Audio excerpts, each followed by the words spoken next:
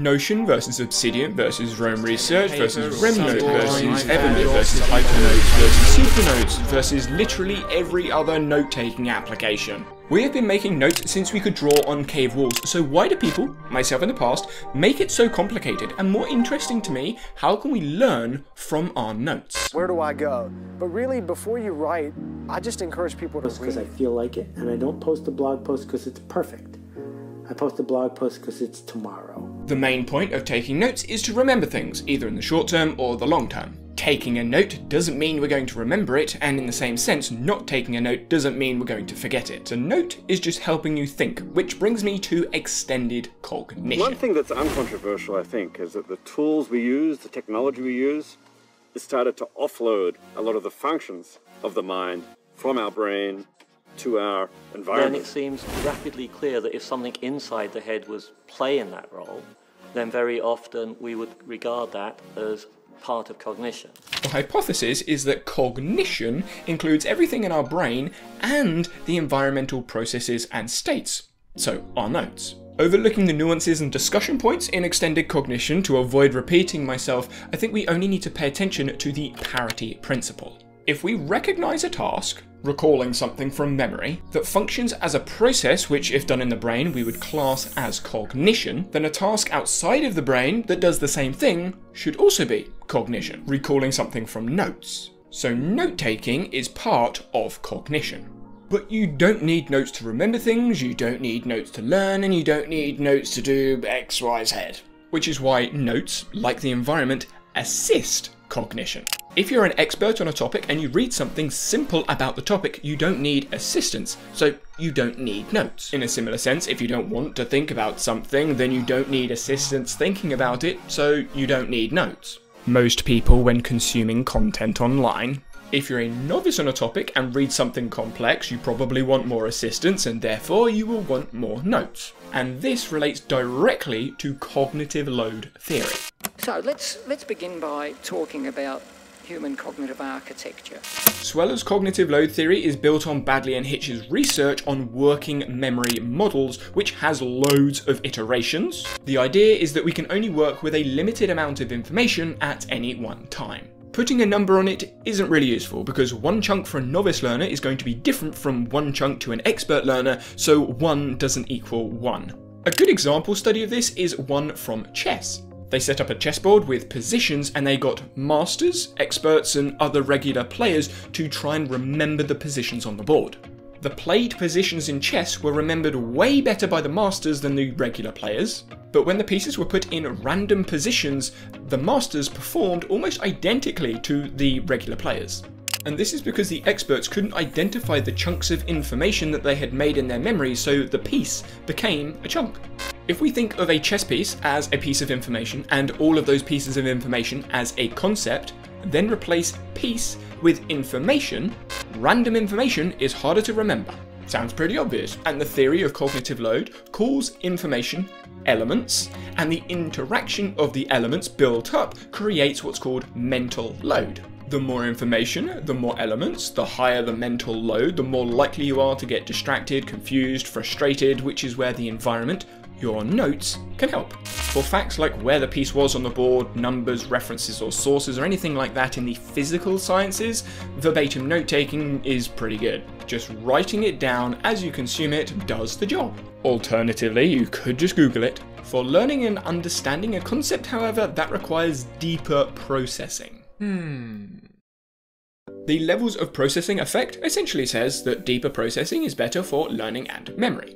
But there is no way to measure depth, elaboration, or distinctiveness of processing. So, for the purpose of simplicity, I'm going to say deep processing requires more conscious thinking. If you think less about something, you are less likely to learn it. Note taking on a laptop may have less thinking, therefore leading to less learning in the moment. Of course, you could also think less when using paper and pen, but that is less likely. The encoding process that happens during the thinking, taking the information and storing it, helps with the retention and the learning, but it takes time and effort, which you don't always have. And that is where external storage, note, can help, which is where retrieval practice gets involved.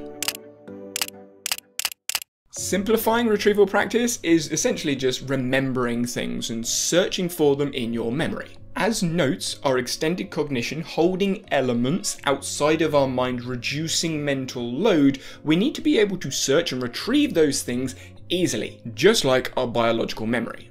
The search of something in our mind is called a memory trace. This can be made easier with distinctive memories, which is known as the distinctiveness effect. Really original. Essentially, you pay more attention and so you create more cues for memory. In cognitive load theory, this could be the variability effect, making the load more beneficial, i.e. germane load. Or it could be accretion, which is adding new information on pre-existing memory stores, schema. For notes, these cues are called metadata, date created, modified, a tag, and loads of other different things, but if you can remember the cue in your biological memory, you don't need to write it down because you can already find it. So encoding things into our memory, using conscious thought, deeper processing, is storing things, which is learning. And doing this seems to be easier with paper and pen to start with. But there is no reason we can't do it with a keyboard, it just requires added consideration. Pen and paper is often slower, so demands more thinking, deeper processing. Thinking more about something without the speed constraint is a skill modern learners need to learn to develop.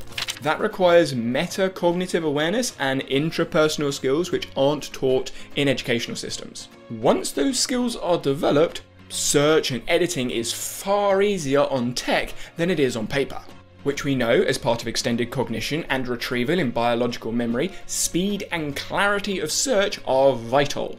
And the organisation of notes only becomes difficult if the topic is complex. Lots of elements that seem random at that point in time. Thinking back to the chess study, the random positions were complex for the masters and the regular chess players. But the played positions weren't complex to the masters because they had cues and experience, chunks of information around those positions. The elements in the position weren't random to the masters. So we can say the regular players or novice learners were hypocognitive of the position. They didn't have a name or a chunk for the position. And if that is a new word to you, then you've just experienced hypocognition. Kinda getting meta. This term comes from the meta-ignorance research literature, which often refers to the Dunning-Kruger effect. People seem to have, when they're, for lack of a better term, incompetent, seem to have very little uh, recognition of how incompetent or how poorly they're doing. Uh, that gap has come to be known as the Dunning-Kruger effect. But in this case, the regular chess players didn't know what they didn't know. They were meta-ignorant, so they didn't know how to organize the information. Giving them a cue, a prompt, a label can increase their awareness. That could lead to conscious thought and deeper thinking and learning, which makes organization easier. This all points to being an active consumer if we want to learn from our notes. Asking questions, challenging assumptions, and engaging in more conscious thought to gain awareness around topics to try and challenge meta ignorance. So we take notes to reduce mental load, we use notes to help our thinking, and then we evolve notes as we are learning.